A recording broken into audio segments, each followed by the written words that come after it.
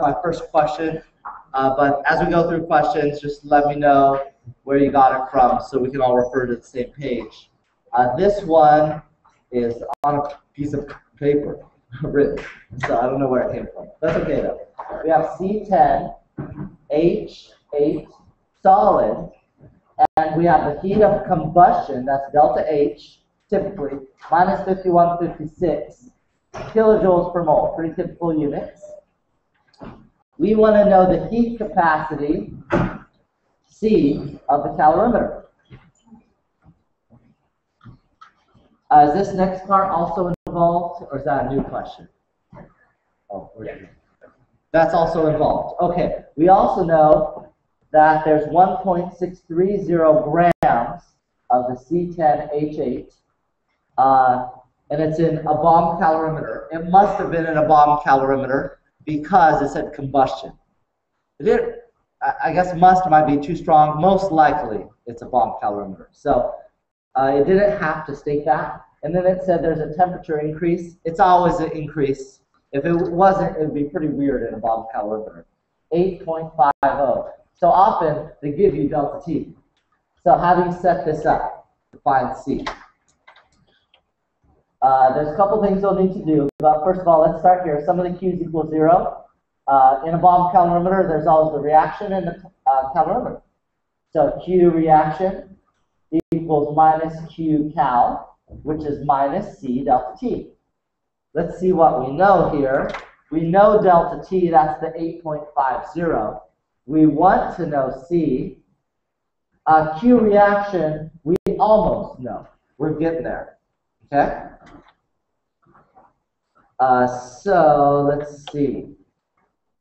Uh, because they gave us these numbers, we have to mess with these numbers. I'll show you how. We have minus 5156 uh, kilojoules per mole of, they don't say it explicitly, but this is what they mean. Per mole of the thing combusted, the organic combusted. Okay, just like I was explaining in the first part of the review session, change this to grams, and you'll see why in a moment. And then multiply by the grams given. Okay so far? Okay, take this number, put it right there, then solve.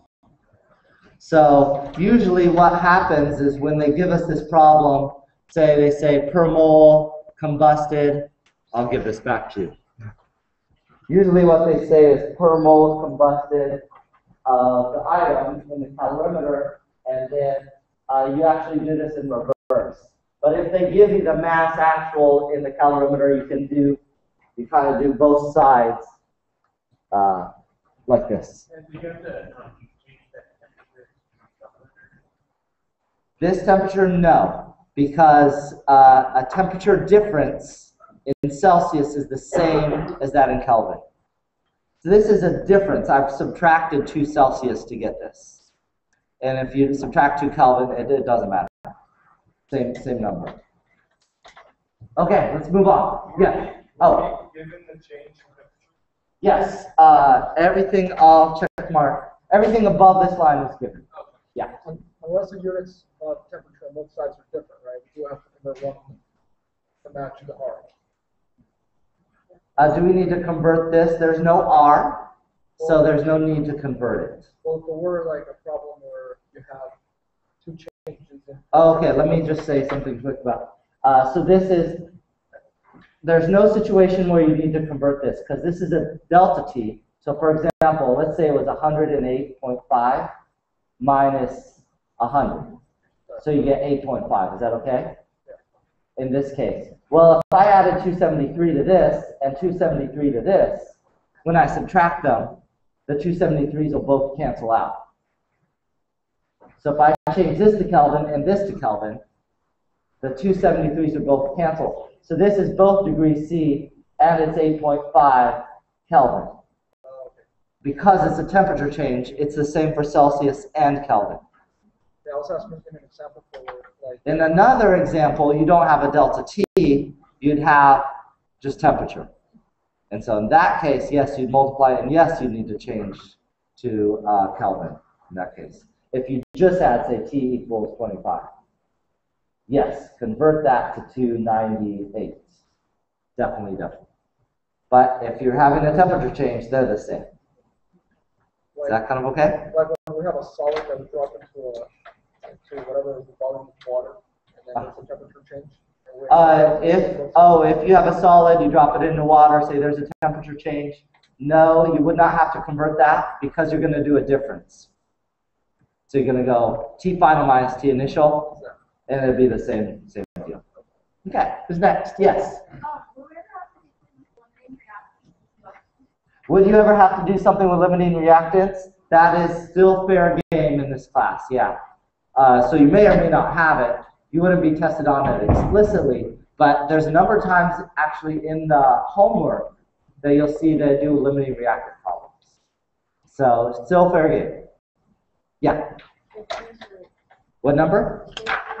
Oh, page 53 in the practice exam reader, this one. Uh, let's see. Let me let me slide over there first. Um, okay, what number? 13. Uh, 13, uh, this one we haven't covered yet. That's what's called a colligative properties question. And so you'll see that on exam two. This exam was just given later in the quarter, that quarter. Yeah, so don't worry about that one. Okay, next, yes.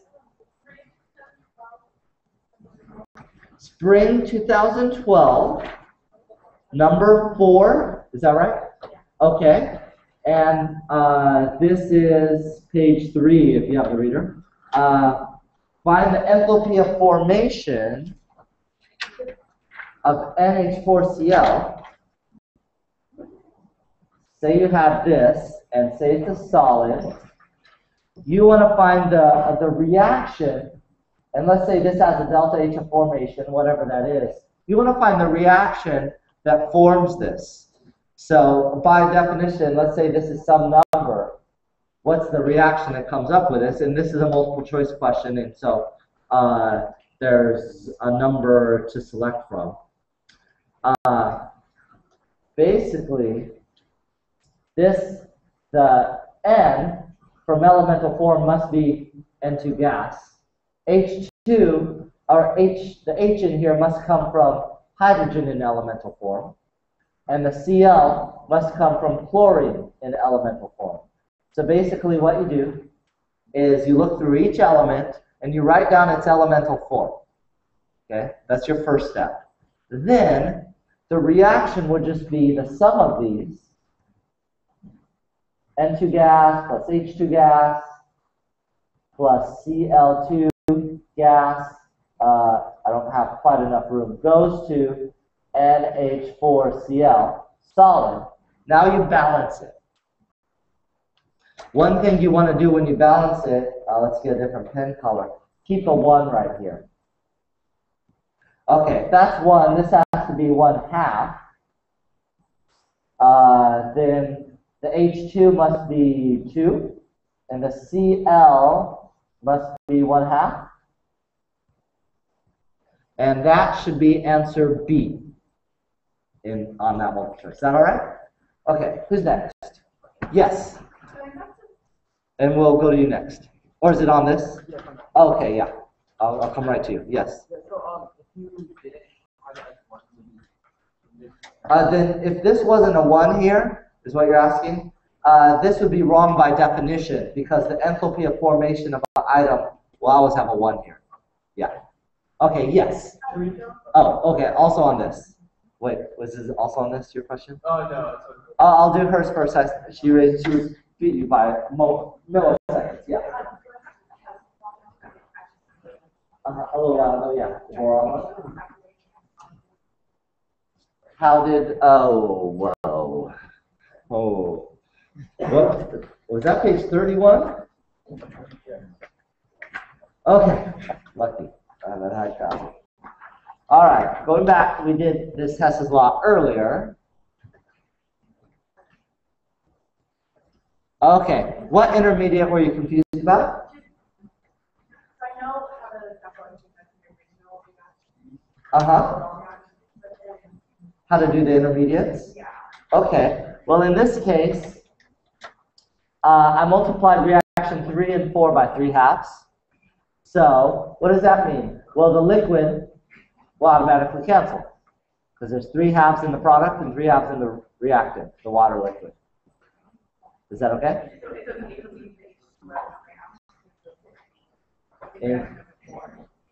Uh, I multiply by 3 halves in both cases. So these are both multiplied by 3 halves. So 3 halves in the products cancel with 3 halves in the reactants. Is that kind of okay? And then another intermediate was H2O gas. There's 3 halves right here, and there was how many here? Anybody? Oh, it was negative 1 half times 3 or minus 3 halves. So I had a minus 3 halves water here and a plus 3 halves there. That cancels. Everything will cancel that's an intermediate. Is that all right? Okay. Uh, who's next? Uh, it was the dude. Where? There you are. Yes. Uh, could we do number two on page three? Number two on page three. Uh, okay, this is spring 12. Number, uh, wait, number two. Yeah. Okay, this is Henry's Law question. Uh, let's see. Here we go. Uh, nitrogen gas has a Henry's law constant equal to 6.3 times 10 to the minus 4 molar per atmosphere. Uh, the blah blah blah. The next sentence. Uh, which of the following would be a good substitute for N2 uh, in order to make the bends less severe? So basically, we're asking which one would be a good substitute. Uh, well, I guess I'll just show you this. I didn't. I shouldn't have written anything.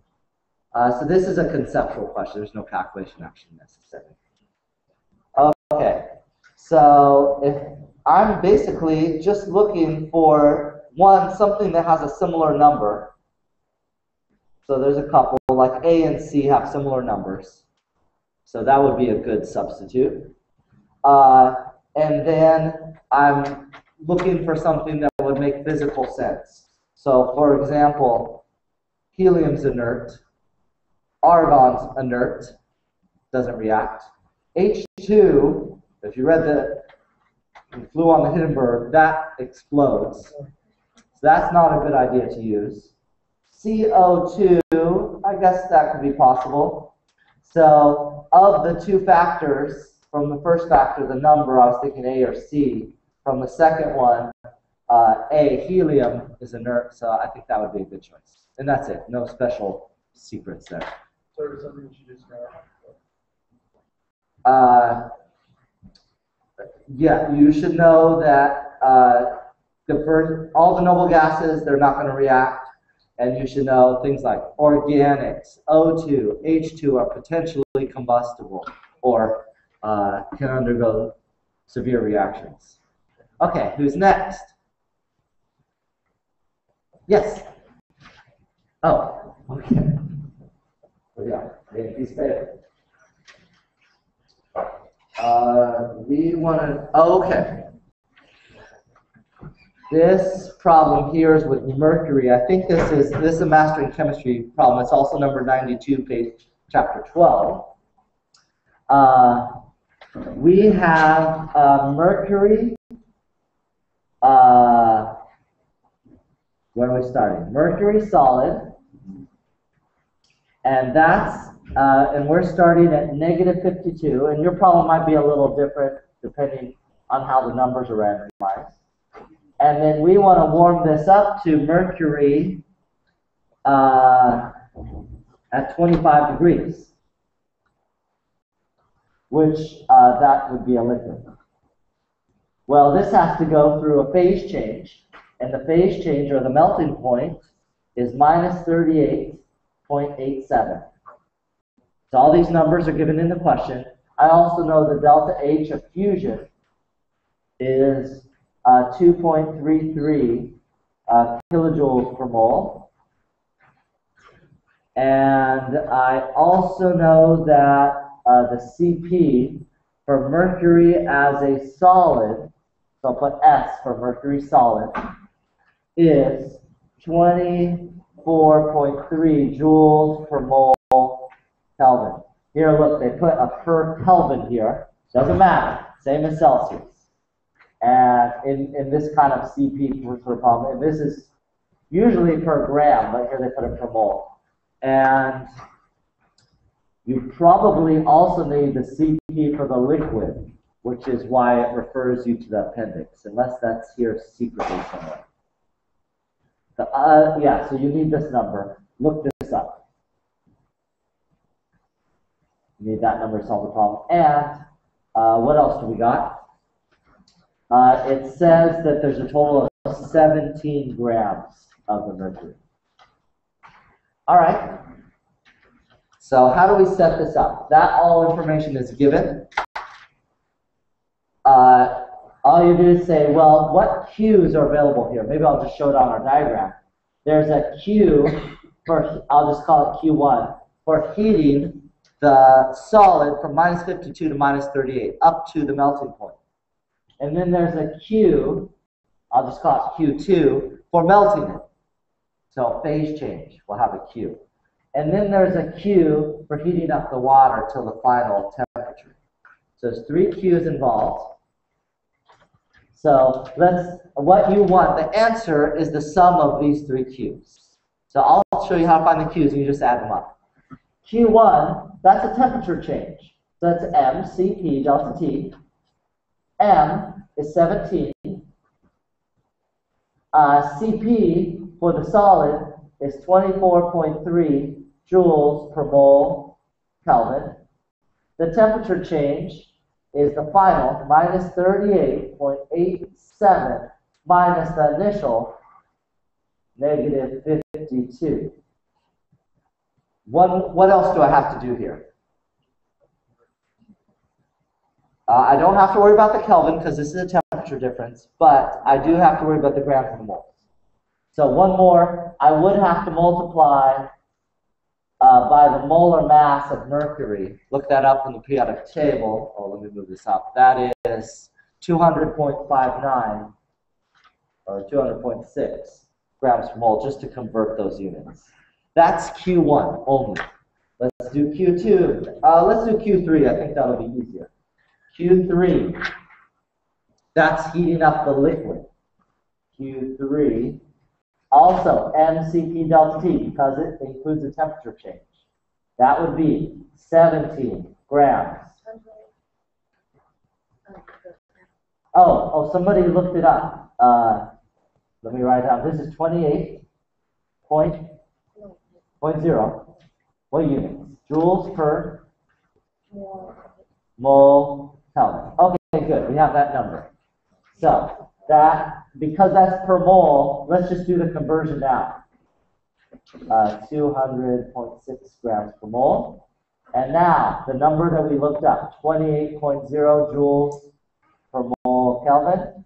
And then, uh, etc. My page is not long enough. Final minus initial. The final temperature was 25 degrees C. The initial temperature is negative 38.87. Again, I don't need to change the Kelvin because it's a temperature difference. It'll it washes out. That's Q3. Now, Q2 is the last one. Remember, we're going to add these three numbers up. Uh, Q2. Well, this is a phase change, so now I'm going to use something like this. Uh, the moles, I don't have the moles. Again, annoying. I should have just done it once at the beginning. Moles Okay, delta H of fusion given was 2.33 kilojoules per mole. So you'll see the moles cancel, but notice that Q1 and Q2 are in units of joules. This, which is normal, they'll give it in kilojoules. So I want to do one more conversion to get this into joules. Get rid of the kilo. Uh, and let's just think about this. Right now I have this as a positive number. We should double check that. If I'm melting something, am I putting in heat or taking out heat? Putting in. Does that mean it's positive or negative? Positive. So this is correct. It should be a positive number. All right, add those three numbers up. You're done. Okay, who's next? Yeah. I just have a question I have on the base, when mercury is a solid, isn't it always the oxide, like, the atom, Ah. and so then you have to be a mass. That could be, uh, I don't know, think it's always the oxide. Uh, I guess I'd have to look that up. He's asking what, would it really be just mercury by itself? If it wasn't, that would be a major problem. I don't think, uh, outside of knowing Q of reaction to convert that, we wouldn't be able to do that problem. Yeah, it's, it's just a problem with this, like, with mercury, um, reduction, and, and I wasn't gonna go with that, it was solid, it was, uh, tobacco, atom, but Oh, is mercury? I don't think mercury always has to be oxide, but in this problem it wasn't. So that might have been a different one. Uh, if you happen to have it, we can take a look at it. Uh, but uh, this one we just do like this. Okay, who's next? Yes. 14. 40, page 40. 40, page 14.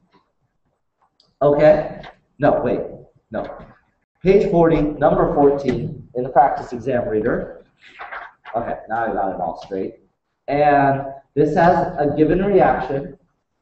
2A, gas goes to 3B, gas. The enthalpy is minus 0.08206 kilojoules. What quantity of heat is liberated by the reaction if there's 100 liters of A and it had two, 2280 uh, millimeters of mercury and the temperature was 27 degrees C. Okay, I want to know uh, what's enthalpy for that. Well, from here we know a couple things. So let's go down before I do any big math. I know that delta H, I can write it like this. Negative kilojoules. This means, and because I care about A in the question, for every two moles of A. If I cared about B, I could put per every three moles of B down here. Okay? So we know that. Now, if it said, oh, there's two moles of A, instead of, instead of saying all this garbage, if it said it's just two moles of A, this would be my answer. But it's not two moles of A, it's this much A. So we need to use this to calculate the moles of air. Notice that this is volume, this is pressure, this is temperature, and these are the ideal gas law. Yeah. So I need to convert this to Kelvin. That's 300 Kelvin, I believe. I need to convert this to atmosphere. So 2280 millimeters of mercury. Uh, there's 760 millimeters of mercury. And this is conversion we given on the test for every one atmosphere. Uh, what does that turn out to be? Oh, awesome. Looks like three. So, uh, moles is PV over RT using an ideal gas law. P, again, is three atmospheres. V is 100. Uh, R, 0.08206. And T is 300. Oh, it looks like uh, 3 times 100 will be 300. Oh, perfect. This will turn out to be um, uh, 1 over 0.08206 moles. And then I need to, let's go to the next page. Now I go back to my delta H, negative 0.08206. Uh, that's kilojoules uh, per two moles of A. Multiply what I knew now by the known moles. Well, I have 1 over 0.08206 moles. Oh, perfect. Somebody must have designed this problem. That cancels, and it's going to be uh, really a half. Minus 1 half. Since the question said uh, how much is liberated by, uh, it's just reporting the answers as positive, so it's A. Okay, good. Okay, who's next? I have Yes, a question. Can we finish going over the items on chapter thirteen? pick one. Yes, uh, I don't know where it is. Do you remember what it was? I don't know, you know, Solubility, which one do you want to do? We'll just take turns. If nobody else has a question, you can do that one too. Uh, actually, I have to down to questions. So, uh, Either. Henry's Law, uh, let's just start with that one then. Maybe I could do both of them pretty fast. Is this this? Uh, or you could solve with a constant. It's C over P. And you could say this is state one and state two. Uh, C, uh, P is the pressure of the gas in a liquid. So this is a gas in a liquid. Okay, C is the solubility or concentration of the gas in the liquid, and P is the pressure uh, exerted to get that in the liquid. And we'll actually do an example in lecture next time. And K is just a constant, like in the liquid, like in soda. Like soda would be a typical life example. Yes. So uh, there's two ways that this kind of question can come. Either they give you two, look at the top equation, two of the three variables and you calculate the third, or you're given two different states or three of the four variables here and you calculate the fourth. So it's really a plug and chug sort of question. Yeah. So C solubility, pressure, and K is uh, Henry's constant. Yes, C, solubility or concentration. K is the Henry's law constant. And P is the pressure applied for the gas. Yeah, yeah, so it's going to feel like a plug and chug. And we'll actually do this top one in lecture next time. Yeah. Uh, the other one was, oh, cool, solubility. Uh, it's just, I just mentioned it uh, in the last lecture. No, I didn't. Oh, yeah. That if you plot solubility versus temperature, the solubility goes up with temperature. For uh, for really a solid in a liquid, or that is a salt in a liquid, uh, except the, and yeah, uh, oh yeah, let me say something before I say that. Uh, there are a couple exceptions to this, but for most solids, it will go up. For a gas, though, as he was mentioning, if you have a gas in a liquid, uh, then as temperature increases, uh, the solubility will decrease. So this is the opposite. Solid in a liquid is opposite of a gas in a liquid. Could you move it up? Oh, oh yeah, that's awkward. Okay, there you go. Is that cool? That was going pretty fast, actually. Good. What are the units of solubility? What are the units of solubility? That's a pretty annoying thing. Uh, you'll see in the in, in different places, depending on where you're looking, there's different units of solubility uh, that are given. Uh, but what I had you do in the very beginning of the chapter, uh, unfortunately, uh, the book defines it a little bit later, but I just define it the very beginning. This is page 34 of my reader. Just as uh, usually it's grams of solute on the top, and then the bottom is a little messy, the numerator, but typically it's mass or volume of the solvent. But that could vary widely. But those are the typical units of solubility. Okay.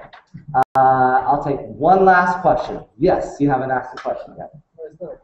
Oh. path. And, okay, so this will have to be our last topic. Path dependence or path independence. This is really purely conceptual for us. There's, there's going to be no math that I can think of. Uh, so what you would do here, let's do it on this slide here.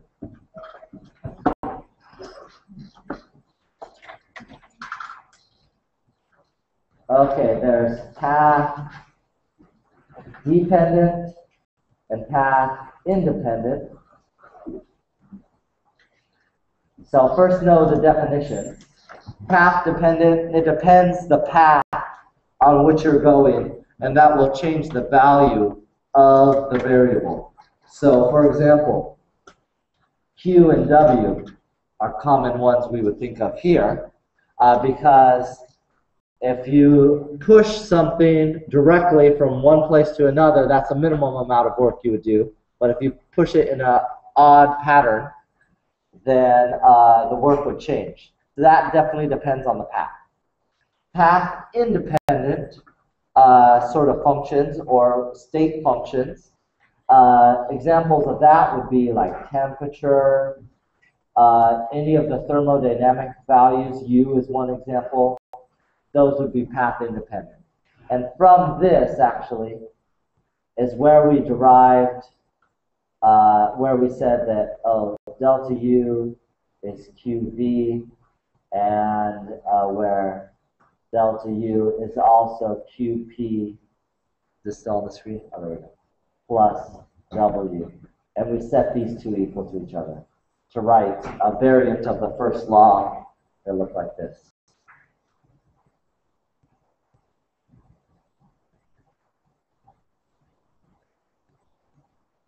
So we got that from the path dependent, independent thing.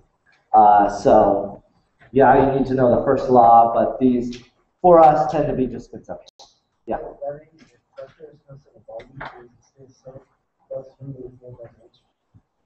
If volume doesn't change, delta U equals delta H, and in our world, so I'm just repeating what he said, yes, that's true. In our world, that's almost always true, or nearly true. So delta U and delta H are usually the same. Okay, I think I'll pause right there. If you really have a burning question, come on up. Otherwise, I'll see you in lecture on Tuesday.